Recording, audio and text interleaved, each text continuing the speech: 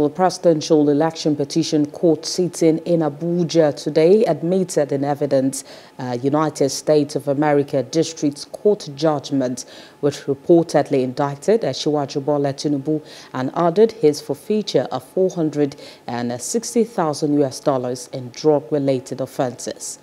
The certified true copy of the judgment was tendered through the first witness called by Obi and his party, the Labour Party, uh, barrister Lawrence Uchechuku Nana, at the commencement of hearing for their joint petition against Tinubu's election.